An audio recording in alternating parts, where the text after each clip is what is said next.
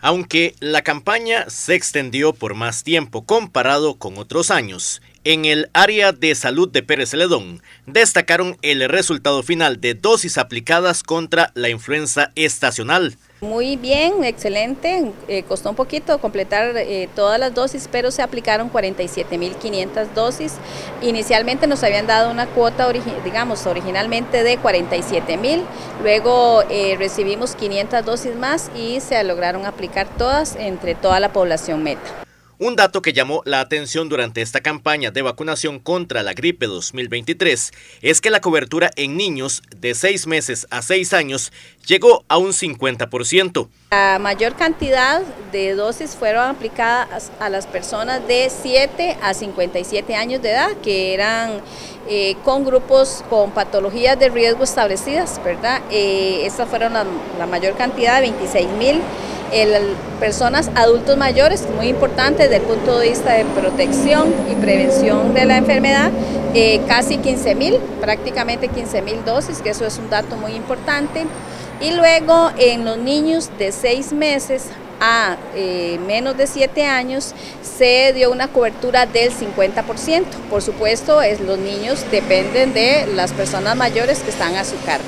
Tras la pandemia, la vacunación se torna más lenta, por lo que el tiempo de campaña se tuvo que extender este año. Nos ampliaron eh, más el periodo de campaña por eh, la situación de que no estaba acudiendo la población, eso fue a nivel país, ¿verdad? Em, no estaba acudiendo desde el principio como es lo usual, ¿verdad? Que lo usual es tener filas, que mm, busquen mucho la vacuna de influenza, pero bueno, algo pasó probablemente relacionado mucho con, con la pandemia.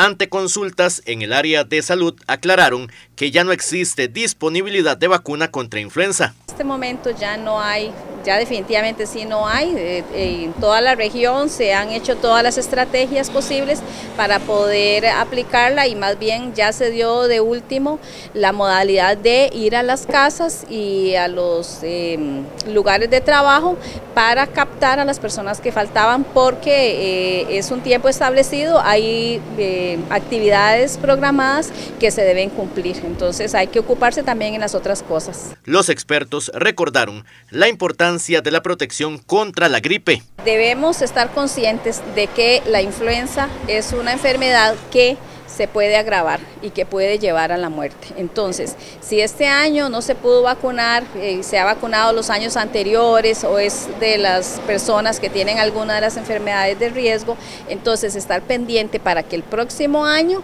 apenas se anuncie de que ya se inicia ir eh, buscar la vacuna de siempre se hace nosotros en Pérez Celedón, por lo menos en dos partes, se vacuna hasta las 6, 6 y 30 de, la, de la noche, o sea que hay un horario eh, suficientemente ampliado para aprovechar la oportunidad. Es importante protegernos y prevenir esos, ese riesgo tan grande que hay. 47.500 dosis fue el resultado final de la campaña de vacunación contra influenza estacional 2023.